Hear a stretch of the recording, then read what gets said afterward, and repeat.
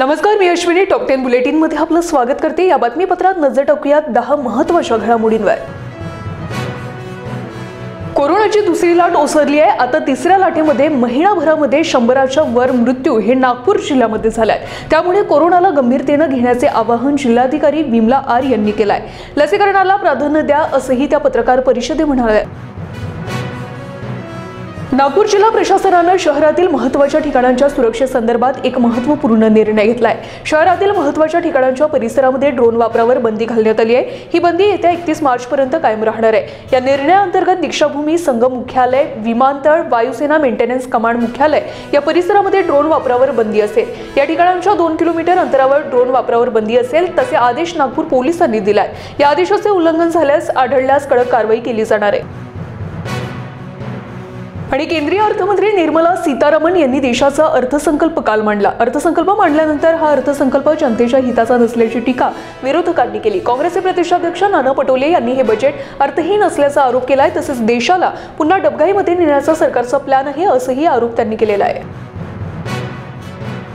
आणि नागपूर आगामी महापालिका निवडणुकीसाठी करण्यात आलेल्या प्रभाग रचनेमध्ये शहरातील प्रभागांची संख्या अडतीस वरून बावन्न वर केली गेली आहे. दरम्यान प्रभाग रचनेमध्ये प्रभाग सीमांकनासह महापालिकेतील सर्व पक्षीय दिग्गज नगरसेवकांना फटका बसलेला आहे. यामध्ये सत्तापक्ष स्थायी समिती अध्यक्ष आणि विरोधी पक्षनेत्यांसह अनेक ज्येष्ठ नेत्यांचा समावेश आहे.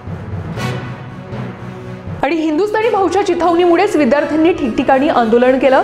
नागपुरातील आंदोलनाची परवानगी देखील घेण्यात आलेली नव्हती. या आंदोलनाला विद्यार्थ्यांनी बसची तोडफोड करून आंदोलनाला हिंसक वळण दिलं. त्यामुळे हिंदुस्थानी भाऊवर अजनी पोलीस स्टेशनमध्ये गुन्हे दाखल करण्यात आले असून त्याला अटकही करण्यात येणार आहे. आंदोलनामध्ये सहभागी युवकांविरुद्ध पोलीस कारवाई करणार असून सीसीटीव्ही फुटेजच्या आधारे पोलीस युवकांकडून शोध सुरू आहे.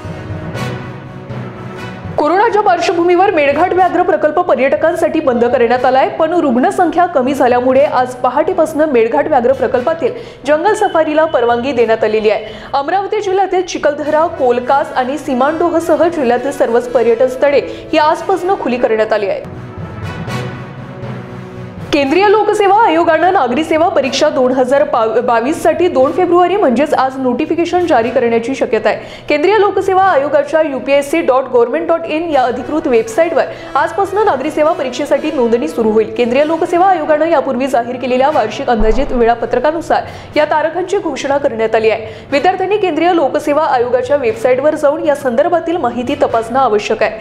केंद्रीय लोकसेवा आयोगानं यापूर्वी जाहीर केलेल्या नियोजनाप्रमाणे पाच जूनला परीक्षा होणार आहे. या परीक्षेसंदर्भात महत्वाची घोषणा आज होण्याची शक्यता आहे. यूपीएससी नेमक्या किती जागांसाठी यंदाच्या नागरी सेवा परीक्षेची जाहिरात प्रसिद्ध करणार? याकडे विद्यार्थ्यांचं लक्ष लागलंय. ICC U nineteen world cup India versus Australia सेमीफायनलमध्ये दुसऱ्या उपांत्य फेरीमध्ये आज भारताचा सामना अँटिग्वा येथील कुलिज क्रिकेट ग्राउंडवर ऑस्ट्रेलियाशी होणार आहे. यंदाच्या विश्वचषकामध्ये भारतानं दमदार कामगिरी करून दाखवली आहे. अद्याप भारतीय संघ सामन्यामध्ये एकही सामन्यात पराभूत झालेला नाही. उपांत्यपूर्व फेरीमध्ये भारतानं बांगलादेशाचा पाच गडी राखून पराभव केला आणि सेमीफायनलचं तिकीट मिळवलं. ऑस्ट्रेलियानेही त्यांच्या उपांत्यपूर्व फेरीमध्ये पाकिस्तानवर एकशे एकोणावीस धावांनी दणदणीत विजय मिळवला. ऑस्ट्रेलियाविरुद्ध याच स्पर्धा स्पर्धेच्या सराव सामन्यामध्ये भारत खेळला होता आणि जिंकला देखील होता. त्यानंतर आता आजच्या सामन्यातही भारतीय संघ जिंकावा अशी सर्व चाहत्यांची अपेक्षा आहे. भारतामध्ये गेल्या चोवीस तासामध्ये एक लाख एकसष्ट हजार तीनशे शहाऐंशी नवीन कोरोना रुग्णांची नोंद झालेली आहे. तसेच दोन लाख एक्याऐंशी हजार एकशे नऊ कोरोना रुग्ण बरे झाले आहेत. सध्या सक्रिय रुग्ण हे सोळा लाख एकवीस हजार सहाशे तीन असून बरे झालेले रुग्ण तीन कोटी पंच्याण्णव लाख अकरा हजार तीनशे सात आहे तर पॉझिटिव्हिटी रेट हा नऊ पॉईंट सव्वीस टक्के एवढा आहे. पिंपरी चिंचवडमधून धक्कादायक बातमी आहे. तीनशे कोटींचं बिटकॉईन हडपण्यासाठी पोलीस शिपायांनाच अपहरण एकाचं अपहरण केल्याची धक्कादायक घटना घडली आहे. यामध्ये पोलिसानं गुन्हेगारीचीच मदत केल्याचं तपासामध्ये निष्पन्न झालंय. पिंपरी चिंचवड पोलिसांनी या प्रकरणामध्ये पोलीस शिपाई दिलीप खानदारेसह आठ आरोपींना गजाआड केलाय. विनय नाईक नावाच्या व्यक्तीकडे तीनशे कोटींचं बिटकॉईन ही क्रिप्टो करन्सी आहे. अशी माहिती विजय खंदारेला मिळाली होती. एका सायबर गुन्ह्याचा तपास करताना त्याला ही माहिती मिळाली होती. आणि बाहुबली स्टार प्रभातच्या आगामी राधेश्याम या चित्रपटाची प्रेक्षक गेल्या अनेक दिवसांपासून प्रतीक्षा करतात नुकतंच त्याची नवी डेट रिलीज झाली आहे. चौदा जानेवारीला हा सिनेमा प्रदर्शित होणार होता. मात्र वाढत्या कोरोनाच्या प्रादुर्भावामुळे याची रिलीज डेट आता पुढे ढकलण्यात आली होती. दरम्यान नवीन डेट समोर आलेली आहे. स्वतः अभिनेत्यानं सोशल पोस्ट करत चाहत्यांना आनंदाची बातमी दिली आहे. बुलेटिनमध्ये आता वेळ झाली आहे. इथेच थांबण्याची विश्रांतीनंतर आपण अनेक विविध बातमीपत्रासह येणार आहोत. कुठेही जाऊ नका. पाहत राहा महाराष्ट्र टीव्ही ट्वेंटी फोर. धन्यवाद.